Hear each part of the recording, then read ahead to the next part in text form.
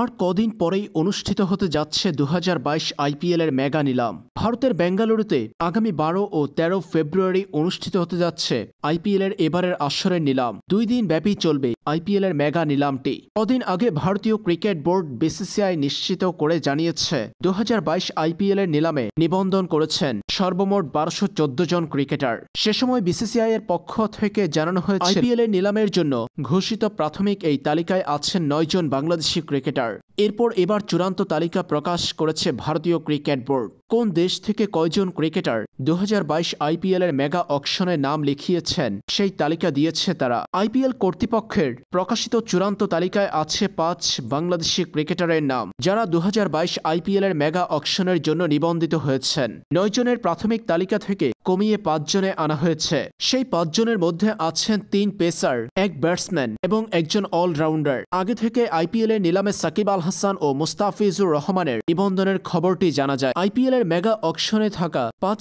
বাংলাদেশি ক্রিকেটাররা হলেন সাকিব আল হাসান, মুস্তাফিজুর রহমান, লিটন কুমার দাস, শরীফুল ইসলাম এবং তসকিন আহমেদ। এই পাঁচজন আছেন মেগা অকশনের চূড়ান্ত তালিকায়। সাকিব আল হাসান ও মুস্তাফিজুর রহমান আছেন দু হাজার বাইশ আইপিএল এর সর্বোচ্চ ভিত্তিমূল্যের ক্রিকেটারের তালিকায়। সাকিব ও মুস্তাফিজের ভিত্তিমূল্য ধরা হয়েছে দুই কোটি রুপি। লিটন দাস, শরীফুল ইসলাম এবং তাসকিন আহমেদের ভিত্তিমূল্য ধরা হয়েছে পঞ্চাশ লাখ রুপি করে। গণমাধ্যমের খবর থেকে জানা যায়, এবারের আইপিএলে দল পাওয়ার সম্ভাবনা রয়েছে শরীফুল তাসকিন ও লিটনেরও।